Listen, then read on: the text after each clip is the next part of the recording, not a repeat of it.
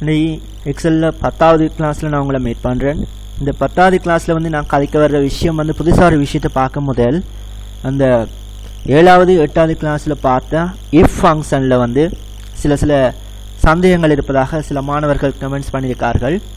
அவர்களுக்காக இதில் ஒரு அசைன்மெண்ட் ஃபார்மெட்டில் வந்து நான் இந்த கிளாஸை நான் உங்களுக்கு எடுக்கிறேன். ஸோ அப்போ இஃப் ஃபங்க்ஷனில் தெளிவில்லாதாக்கள் அடுத்தது இஃப் ஃபங்க்ஷனை யூஸ் பண்ணி அந்த இஃப்க்குள்ள லாஜிக்கல் ஸ்டேட்மெண்ட் எப்படி சேர்க்குறது? அதாவது லாஜிக்கல் என்ற ஒரு ஃபங்க்ஷன் இருக்கு உங்களுக்கு தெரியும். அது சம்மந்தமாக இந்த ரெண்டையும் நான் இதில் வச்சு நான் உங்களுக்கு சமரியாக எடுக்க போகிறேன் இதோட மேலதிகமாக சார்ட்டையும் நான் இதில் இன்சர்ட் பண்ணி காட்ட போகிறேன் ஸோ உங்களோட ஏழாவது எட்டாவது ஒன்பதாவது கிளாஸை ஒரு சமரியாக இந்த வீடியோ கிளிப் இருக்கும். அதனால் அந்த மூன்று கிளாஸ்லையும் ஏதாவது சந்தேகங்கள் இருப்பேன் இந்த வீடியோ கிளிப்ஸை நீங்கள் தவறாமல் பார்த்துக்கொள்ளுங்க. அப்போ ஒரு அசைன்மெண்ட்டாக பேஸ் பண்ணி நான் இந்த கிளாஸ் நான் உங்களுக்கு இப்போ எடுக்கிறேன். ஸோ இப்போ நான் எக்ஸலில் வந்து சாம்பிளுக்கு ஒரு கணக்கு இதில் எண்ட் பண்ணி வச்சுருக்கேன். அந்த கணக்கை வச்சுக்கொண்டு நான் உங்களோட கதைக்கேன். ரைட் இனி இந்த வீடியோ அவதானிச்சுக்கொள்ளுங்க இதில் வந்து பார்த்தீங்கன்னு சொல்லிச்சுன்னா ஒரு ஸ்டூடெண்ட்ஸோட டேட்டாஸ் கொஞ்சம் இங்கே தந்திருக்கு. அந்த டேட்டாஸில் வந்து பார்த்தீங்கன்னா register number name word ID இவ்வளவும் இன்புட் பண்ணியிருக்கு. உள்ளீடாக தரப்பட்டிருக்கு. இந்த இன்பிட் பண்ண தரவை வச்சுக்கொண்டு நீங்கள் வெளியீடாக எடுக்க வேண்டியது டோட்டல் அவரேஜ் ரிசல்ட் ஸ்டேட்டஸ் இவ்வளோ நீங்கள் காணணும். அப்போ நீங்கள் காண்றதுக்கு நான் இப்போ உங்களை கைட் பண்ணுறேன் கவனிச்சுக்கொள்ளுங்க டோட்டலை காண்றது நான் சொல்ல தேவையில்லை. இந்த டோட்டல்ன்றதை காண்றதுக்கு இந்த டோட்டலை காண்றதுக்கு தரவு தேவை. அந்த தரவு யார் சொல்லுங்க? அப்போ வேர்டும் ஐட்டியும் ஸோ இதுக்கு நான் ஃபங்க்ஷன் பாவிக்கலாம்னு கேட்டால் உங்களுக்கு தெரியும் ஜெஸ் அப்போ இந்த ஆட்டோ ஷாமில் போயிட்டு நான் என்ன செய்றேன்? சம்மண்ட ஃபங்க்ஷனை சூஸ் பண்ணுறேன் டேட்டாஸை ரிமூவ் பண்ணிவிட்டு எந்த டேட்டா செல்லை உங்களுக்கு ஹைலைட் பண்ணுமோ அதை நீங்கள் ஹைலைட் பண்ண முடியும். என்ற கொடுத்துட்டு அந்த டோட்டல் இந்த செல் அட்டஸ் இந்த ரேஞ்சை நீங்கள் ட்ராக் பண்ணிங்கன்னா மிச்சத்துக்கு டோட்டல் வரும். ஓகே அதில் பிரச்சனை இல்லை. அதே மாதிரி அவரேஜை காணணும். அவரேஜை காண்றதுக்கு ஃபங்க்ஷன் என்ன? அவரேஜ் உள்ள வர தரவுன்ற செல் அட்டஸை ரிமூவ் பண்ணிவிட்டு அவருக்கு தேவையான செல்லுன்ற ரேஞ்சை நீங்கள் செலக்ட் பண்ணணும். என்ன பண்ணிங்கன்னா அவரேஜும் வரும். எப்பவுமே அவரேஜ் ரெண்டு தசமானத்தில் இருக்கணும். அதையும் நீங்கள் செட் பண்ணி போட்டு அப்படியே ட்ராக் பண்ணுங்கள் இவ்வளோ விஷயம். எக்ஸலோட பே பேசிக் கிளாஸில் எல்லாம் நீங்கள் பார்த்துருப்பீங்க. இப்போ உங்களோட டவுட்ஸை கிளியர் பண்ணுற செஷனுக்குள்ளே வரும். ஃபர்ஸ்ட் வந்து நான் என்ன செய்ய பண்ணேன் இந்த ரிசல்ட்டை காண போகிறேன் ரிசல்ட்டை காண்றதுக்கு ஒரு நிபந்தனை எங்களுக்கு வேணும். அந்த நிபந்தனை இங்கே பாருங்கள் நான் உங்களுக்கு டிஸ்ப்ளே பண்ணி காட்டியிருக்கேன். உங்களுடைய சராசரி புள்ளி அதாவது அவரேஜ் மார்க்ஸ் வந்து எழுபத்தஞ்சு உட்பட அதுக்கு மேலே இருக்குமா இருந்தா அதாவது வடியா கவனிக்கணும் எழுபத்தஞ்சுக்கு மேலேன்னு சொல்லல எழுபத்தஞ்சு உட்பட அதுக்கு மேலே. அதனால தான் அதில் ஈக்குவல் போடப்பட்டிருக்குது. கிரேட்டர் தன் ஈக்குவல்னு சொல்லி. அப்படி இருக்க மாதிரி இருந்தால் உங்களோட கிரேட் வந்து ஏ என்று வரணும். அறுபது உட்பட அதுக்கு மேலே இருக்க மாதிரி இருந்தால் உங்களோட கிரேட் வந்து பி என்று வரணும். ஐம்பது உட்பட அதுக்கு மேலே இருக்குமா இருந்தால் சி என்று வரணும். அதர்வைஸ் மிச்சம் எல்லாருக்குமே ஃபெயில் என்று வரணும். அதாவது ஸோ டவுட்ஸ் என்று வரணும். டவுட்ஸும் ஃபெயிலும் ஒன்று தான். ஸோ இங்கே இவங்க தந்த மாதிரி டவுட்ஸ் என்று வரணும். இந்த ஸ்டேட்மெண்ட் நாங்கள் எடுக்கிறதுக்கு உங்களோட மைண்டில் ஒன்று வரணும். இஃப் ஃபங்க்ஷன் பாவிக்கணும். ரைட் இஃப் ஃபங்க்ஷனில் வந்து பார்த்தீங்கன்னா இங்கே எத்தனை நிபந்தனை இருக்குது மூன்று. அப்போ மூன்று இஃப் நான் பாவிக்க போகிறேன் இந்த நிபந்தனை எண்ணிக்கை கேட்ட மாதிரி உங்களுக்கு இஃப் வரும். ஓகேவா ரைட் இஃப்ல ஸ்டேட்மெண்ட்டை பார்த்தீங்கன்னா ட்ரூ ஃபோல்ஸ் அப்போ ட்ரூவுக்கு நிபந்தனை வரும். அந்த நிபந்தனை வேலை செய்யாட்டிக்கு ஃபோல்ஸ் வரும். அந்த ஃபோல்ஸுக்கு வந்து நிபந்தனை தேவையில்லை. கிளியரா ஸோ நான் ரிசல்ட் என்னதுக்கு வாரேன்? சமன் அடிக்கிறேன் இஃப் கீழே வர இஃப்னு டப் பண்ணி டபுள் கிளிக் பண்ணிங்கன்னு சொன்னால் இஃப்ன்ற ஸ்டேட்மெண்ட் அப்படியே ஓப்பன் ஆகும். லாஜிக்கல் டெஸ்ட் இப்போலாம் என்னுடைய அவரேஜ் மார்க்ஸை நான் கிளிக் பண்ணுறேன் ஸோ அதுக்கான செல் லெட்டர்ஸ் வந்துட்டுது. இந்த செல் லெட்டர்ஸ்க்கு இருக்க புள்ளி கிரேட்டர் தன் ஈக்குவலண்ட் அடிச்சுட்டு எழுபத்தஞ்சுக்கு மேலே இருக்குமா இருந்தால் கம எனக்கு வர வேண்டிய ரிசல்ட் என்ன? ஏ ஸோ நான் இன்வெர்டர் கம்மாவுக்குள்ள ஏ என்று டிஸ்பிளே பண்ணிக்கொள்கிறேன் இதோட கம்மா கொடுத்தேன்னா ஆல் இஃப்ல ஸ்டேட்மெண்ட் கிளியராக கம்ப்ளீட் பண்ணிட்டேன். ரைட் இதோட இந்த கண்டிஷன் முடியலை இன்னொரு கண்டிஷன் தந்திருக்கு. அப்போ திருப்பியும் என்ன செய்றீங்க? இன்னொரு இஃப் ஸ்டேட்மெண்ட்டுக்குள்ள நீங்கள் நுழையணும். அதே மாதிரி உங்களோட அவரேஜ் புள்ளியை கிளிக் பண்ணி கிரேட்டர் தன் ஈக்குவல் எத்தனைக்கு மேலே இருந்தால் சிக்ஸ்டிக்கு மேலே இருந்தால் கம்ம என்ன ரிசல்ட் வரணுமோ அதை நீங்கள் இன்வெர்டர் கம்மக்குள்ளே கொடுத்துக்கொள்ளுங்க. இன்னொரு கண்டிஷன் இருக்கிறால கம்மாவை கொடுத்து செப்பரேட் பண்ணுறேன் திருப்பியும் இன்னொரு கண்டிஷனை உருவாக்குங்க. ரைட் இப்போ அவரேஜ் மார்க்ஸை கிளிக் பண்ணுறேன் இவர் எத்தனைக்கு மேலே இருக்கணும்? ஐம்பதுக்கு மேலே இருக்கணும். ஐம்பதுக்கு மேலே இருந்ததுன்னா கம இன்வெர்டர் கம்மக்கு சி ஓகேயா இப்போ தரப்பட்ட மூன்று இஃப் ஃபங்க்ஷனை அஞ்சை உள்ளீடு செய்துட்டேன் இவ்வளோ நிபந்தனை வேலை செய்யாட்டிக்கு எனக்கு ஃபோல்ஸ் பார்ட்டிக்கில் என்ன வரணும்? டபுள் ஜூ ஸோ அப்போ இங்கே நிபந்தனை கொடுக்காமலே நான் என்ன செய்கிறேன் இன்வெர்டர் கம்மக்கு டபுள் ஜூ வந்து டிஸ்பிளே பண்ணி விடுறேன். ரைட் எத்தனை ட்ரூ கிரி எஃப் ஃபங்க்ஷன் ஆட் பண்ணிக்கிறீங்க மூண்டு அப்போ மூணு ப்ராக்கெட்டை நீங்கள் ஃபினிஷ் பண்ணிக்கொள்ளணும். என்டர் பண்ணிக்கொள்ளுங்க. இதை ட்ராக் பண்ணிங்கண்டா உங்களுக்கு இஃப் ஃபங்க்ஷனில் என்னென்ன மாதிரி ஒர்க் பண்ணுதுன்னு இங்கே தெரியும். இப்போ வந்து பார்த்தீங்கன்னு சொல்லி சொன்னால் A B C double C நாலுமே விட வந்திருக்கு. ஆனால் நாலு விடையுமே வருமானு நீங்கள் எதிர்பார்க்க வேணாம். இப்போ சப்போஸ் பாருங்கள் நான் தினாண்டவருடைய மார்க்ஸில் வந்து நூறு ரெண்டு கொடுத்துக்கொள்கிறேன் இப்போ இங்கே பார்த்தீங்கன்னா யாருக்குமே டபுள் ஜி இல்லை. அப்போ நீங்கள் ஒரு எரர் மெசேஜுமே வராமல் விட வந்துச்சுன்னு சொன்னால் அது சரியான நீங்கள் எடுத்துக்கொள்ளக்கூடாது நீங்கள் எத்தனை கண்டிஷன் கொடுத்தீங்களோ அதாவது ஏ ஏன்ற விட வந்திருக்கா? ஓகே பி வந்திருக்கு. சி வந்திருக்கு. என்ன வரல டபுள்யூ டபுள்யூன்ற விட எப்போ எங்களுக்கு வரைஞ்சு சொல்லுங்க அப்போ ஐம்பது குறைவாக இருந்தா இந்த கணக்கின்படி அப்போ எனக்கு அவ்வளோச்சாரும் ஐம்பது குறை இருக்கா? இல்லை. அப்போ அவரேஜ் ஐம்பதுக்கு குறைய வரணும்னா ஏதாவது உள்ளீடு செய்யப்பட்ட மார்க்ஸின் எண்ணிக்கை நான் என்ன செய்யணும்? குறைக்கணும். அப்படி குறைக்க நேரடியாக அந்த கண்டிஷன் மாறுது பாருங்க. அப்போ இப்படி நீங்கள் செக் பண்ணீங்கன்னு சொல்லி சொன்னால் நீங்கள் செய்த இஃப் ஃபங்க்ஷன் முழுக்க ஒர்க் பண்ணுதான்னு செக் பண்ண முடியும். அப்போ நான் தந்த தரவை என்னுடைய விட சரியான்னு பார்க்குறதுக்காக மாற்றினதால பழையபடி அண்டு பண்ணுறேன் இல்லை பழையபடி அந்த புள்ளியை மாற்றிக்கொள்ளணும் அண்ட் அவங்க எடுத்த புள்ளியை நாங்கள் குறைக்கக்கூடாது இல்லையா? அப்போ நாங்கள் செக் பண்ணுறதுக்காக தான் அந்த வேலையை செஞ்சோம். அப்போ இந்த ரிசல்ட் டிஸ்பிளே ஆகிட்டு ரைட் நான் உங்களுக்கு திருப்பி சொல்கிறதுக்காக என்ன செய்றேன்? முதலாவது விடையில் கேஸில் விடுறேன். மேலே ஃபார்முலா பார் அவதானிச்சிங்கன்னா தெரியும். இதில் ஈக்குவல் சைன் எப்போவுமே எக்ஸல் ஆரம்பத்தில் கொடுக்கணும்னு உங்களுக்கு தெரியும். இப்போ இஃப் அண்ட் ஃபங்க்ஷன் என்ன செய்யுதுன்னு சொன்னால் எஃப் அண்ட் செல்லுக்கு இருக்கிறவர் எழுபத்தஞ்சு உட்பட அதுக்கு மேலே இருக்கான்னு செக் பண்ணும். ரைட் அப்போ எஃப் அண்ட் நாலா எஃப் அண்ட் செல்லுக்கு நாலா ரோல இருக்கிற அமௌண்ட்டை வந்து பார்த்தீங்கன்னா அறுபத்தொன்று தசம் அஞ்சு சைவர் அப்போ எழுபத்தஞ்சை விட இந்த அறுபத்தொன்று தசம் அஞ்சு சைவர் பெருசா? இல்லை. அப்போ இந்த இஃப் வேலை செய்யாது. அப்போ இந்த இஃப் என்ன செய்யணும்னா வெளியேறு வெளியேறக்கு இந்த கம என்ன செய்யணும்னா திருப்பி அடுத்த இஃப்ட தள்ளி விடுது. அப்போ அடுத்த இஃப் என்ன செய்யணும் அவரும் சும்மா ஆள் இல்லை அவரும் ஒரு நிபந்தனையோட நிற்கிறாரு அறுபதுக்கு மேலே இருக்கியான்னு கேட்கும். ரைட் அப்போ என்னுடைய இந்த அவரேஜ் புள்ளி இப்போ அறுபதுக்கு மேலே தான் இருக்கு. அப்போ அதனால அவருடைய கிரேட் என்ன? பி அப்போ எனக்கு பி விட வரும்.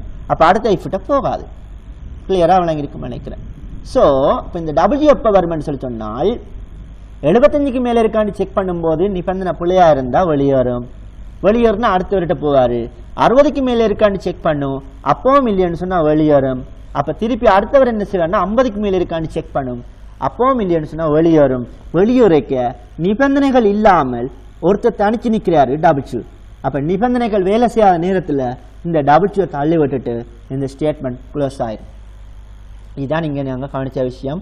ஸோ உங்களுக்கு ஃபுல்லாக விளங்கி இருக்கும்னு நினைக்கிறேன். இதை வச்சுக்கொண்டு தான் O level result A level result எல்லாம் வந்து உங்களுக்கு ஆன்லைனில் வந்து கால்குலேட் பண்ணி எடுக்கிறாங்க. ரைட் அடுத்து வந்து பார்த்தீங்கன்னா ஒரு லாஜிக்கல் டெஸ்ட் நான் உங்களுக்கு அப்ளை பண்ணி காட்ட போகிறேன் இந்த லாஜிக்கல் டெஸ்ட்டில் வந்து பார்த்தீங்கன்னு சொன்னால் ஸ்டேட்டஸ் என்ற விஷயத்தை நாங்கள் பார்க்க போகிறோம் இந்த ஸ்டேட்டஸ் என்ற விஷயத்தில் வந்து பார்த்தீங்கன்னு சொல்லி சொன்னால் உங்களோட புள்ளிகளில் வந்து வேர்ட் பாடம் மற்றது ஆயிடுச்சு ரெண்டும் இருக்குது உங்களோட வேர்ட் மார்க்ஸ் வந்து அறுபதுக்கு மேலே இருக்கணுமா? வேர்ட் மார்க்ஸ் வந்து எத்தனை மேலே இருக்கணும்? அறுபதுக்கு மேலே. சேம் டைம் உங்களோட ஐடி பாடத்துக்குரிய புள்ளிகள் ஐம்பதுக்கு மேலே இருக்கணும். அப்போ வேர்ட்டின் புள்ளிகள் அறுபதுக்கு மேலேயும் அதே நேரம் ஐடியின் புள்ளிகள் ஐம்பதுக்கு மேலேயும் இருந்தால் தான் உங்களை ஒரு செமினார் ஒன்றுக்கு அனுப்புறதுக்கு உங்களோட டீச்சர் டிசைட் பண்ணுறாரு அப்போ உங்களை செலக்ட் பண்ணலாமா இல்லையான்றதுக்கு அவர் ஒரு கண்டிஷனை இங்கே இரண்டிருக்காரு அப்போ ஒரு குவிஸ் போட்டிக்கு அனுப்புறதுக்கு வந்து ஸ்டேட்டஸ் அண்ட் இதில் வச்சு ஆர் ஆர் அனுப்பலாமன்ற ஒரு நேம் லிஸ்ட் எடுக்கிறதுக்கு உங்களை டீச்சர் கையாளுற முறையை பாருங்கள் வேர்ட் வந்து அறுபதுக்கு மேலேயும் ஐடி ஐம்பதுக்கு மேலேயும் இருக்கணும். அப்படி இருந்துச்சுன்னு சொன்னால் நீங்கள் செலக்டட்னு சொல்லியும். மற்றும்படி உங்களை அந்த ப்ரோக்ராமுக்கு அனுப்ப முடியாண்டாலும் நாட் செலக்டட்ன்றதையும் வச்சுக்கொண்டு ஃபங்க்ஷன் பண்ண போகிறாங்க ஸோ இதில் ஒரு அஞ்சு பேர் இருக்கிறாலும் நாங்கள் இதை கண்ணால் பார்த்தே நாங்கள் வீடியோ எடுக்க முடியும். பட் கன பேர் இருக்கிற இடத்துல இந்த ஃபங்க்ஷன் உங்களுக்கு ஹெல்ப் ஆகும். அப்போ நான் இப்போ பார்க்க போகிறது லாஜிக்கல் டெஸ்ட் இந்த லாஜிக்கல் டெஸ்ட்டில் வந்து பார்த்தீங்கன்னா இங்கே ஞாபகப்படுத்தணும் உங்களுக்கு அண்ட் ஓர் ரெண்டு சொல்லி ரெண்டு ஃபங்க்ஷன் இருக்குது இந்த அண்ணன்ற ஃபங்க்ஷன் என்ன செய்யும்னு சொல்லி சொன்னால் எல்லா நிபந்தனைகளுமே ட்ரூவாக இருந்தால் மட்டும் அதாவது சரியாக இருந்தால் மட்டும்தான் அவருக்கான விடையை தரும்.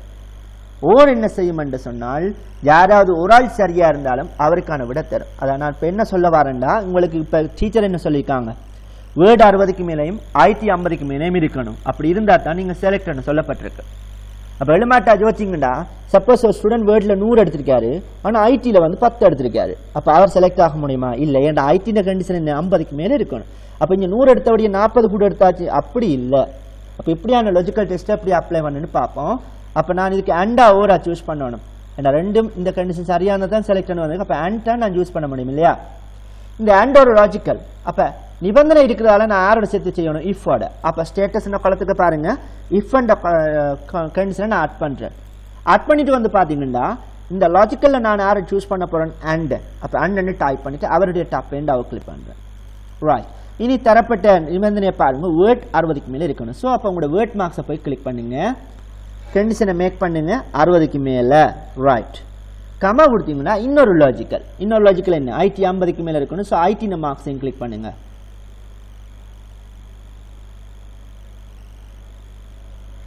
ஐடி மார்க்ஸையும் கிளிக் பண்ணிட்டு கிரேட்டர் தென் ஃபிஃப்டி வேறு லாஜிக்கல் தராதபடி. இந்த ரெண்டு லாஜிக்கலும் இதோட க்ளோஸ் ஆகுது. அப்போ நான் இப்போ ப்ராக்கெட்டை முடிச்சேன்னா அண்ட் அண்ட் லாஜிக்கலுக்குரிய ப்ராக்கெட்டை நான் ஃபினிஷ் பண்ணிட்டேன். அப்போ இந்த ரெண்டு நிபந்தனையுமே ட்ரூவாக இருந்தால் கம எனக்கு என்ன வரணும்? செலக்டட் வரணும். அப்படி இல்லை என்று சொல்லி சொன்னால் நாட் செலக்டட் வரணும்.